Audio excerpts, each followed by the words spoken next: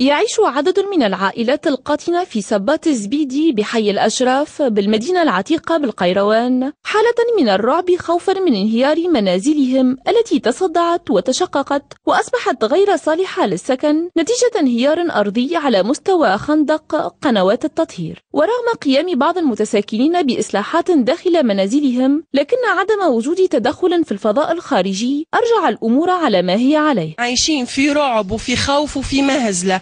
أي سايح يتعدى من هنا يغزر للمادري ويغزر إحنا وين عايشين يقعد باهت كيفاش إحنا؟ في مدينة عتيقة وفي مدينة إسلامية ونعيشوا في هالكوارث هذية خايفين بصراحة إحنا على رواحنا وخايفين على صغيراتنا. أمطار جاية صغار تلعب.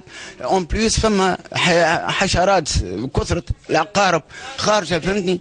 الفيران فهمتني؟ معناها عايشين في حالة مرعبة. صلحت وخسرت ما خسرت وكل شيء رجع كما كان. كما كما كانت الحالة من الأول بكل.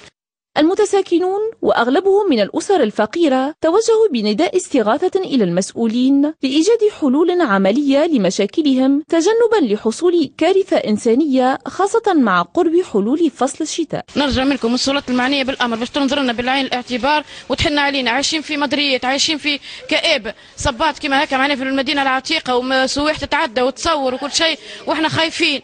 معناها كلها معناها عار تونس وعار الناس الكل.